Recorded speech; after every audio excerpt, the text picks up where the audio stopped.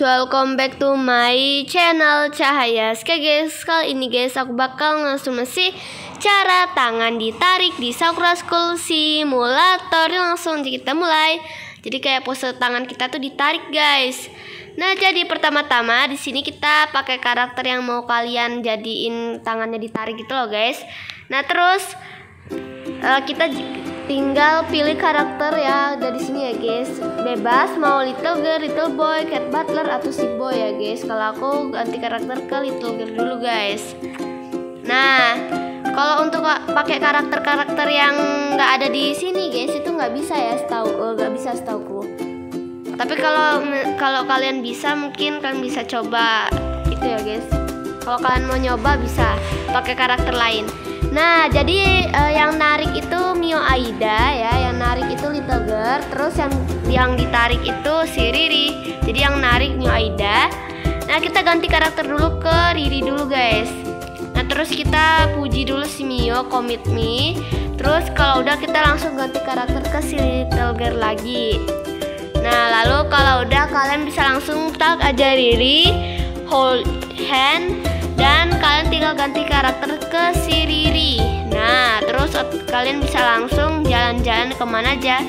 Oh ya jangan terlalu jauh ya guys. Kalau kalian jauh bakal tangannya kayak gini guys. Terus kalau misalnya kalian tetap jauh gitu kayak gini dia bakal ngikut gitu. Nah aduh tuh tuh aduh putar-putar. Nah jadi lebih baik aku saranin jangan putar apa jangan terlalu ini ya guys panjang apa, apa namanya jatuh jauh jalannya. Nah ini aku ulang lagi. Terus ganti karakter. Nah cukup segini aja udah pas ya guys. Tinggal kalian bikin ekspresi misalnya uh, si Riri mau pergi gitu terus Mio Aida tuh sedih guys.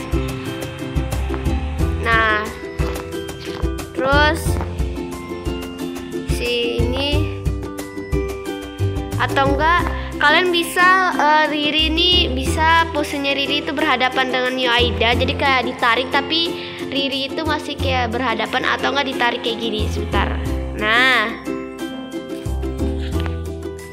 Kayak gini tuh. Ya agak jauh di, jauhin dikit ya guys.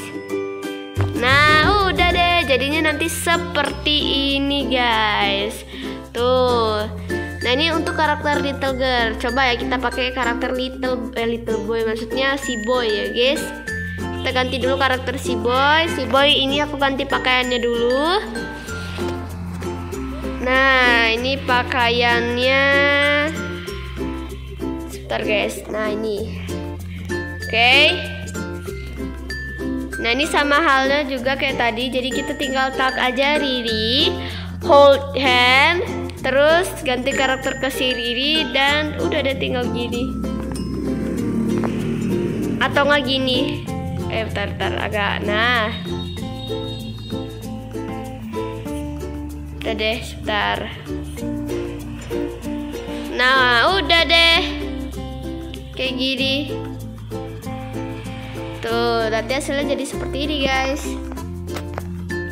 Nah kalau misalnya kalian kesusahan untuk atur-atur kayak begini ya Kalian bisa langsung atur di bagian pose mode yang karakter position. Tuh kalian bisa atur-atur Biar lebih gampang ya guys. Kalian bisa atur di bagian pose mode. Jadi kalian kebawahin sampai ketemu karakter position dan karakter rotation. Nah ini kalian bisa atur-atur.